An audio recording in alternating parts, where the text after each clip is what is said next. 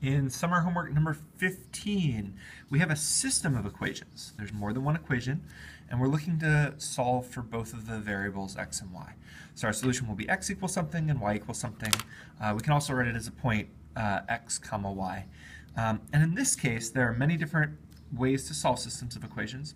But for this problem, uh, it's set up very nicely to solve using a certain method, um, and that method is substitution.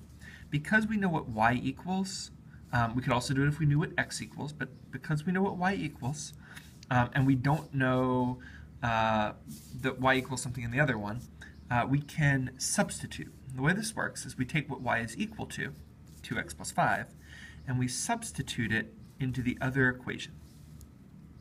Where y is, we put what y is equal to, 2x plus 5. And the reason this is helpful is because it, um, it makes it so that there's only one variable.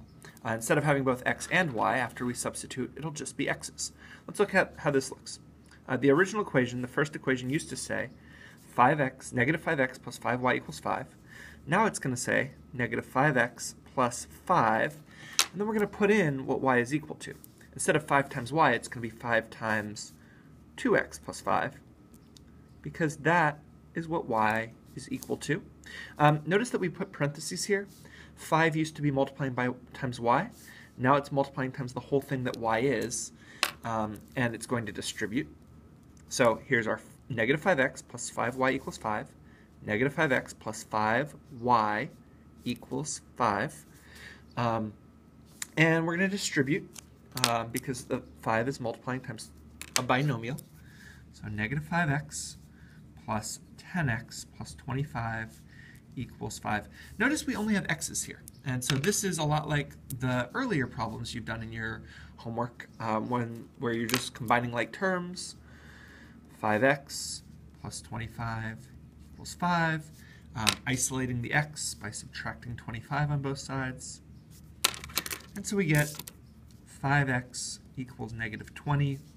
Dividing by 5 gives us that x equals negative 4.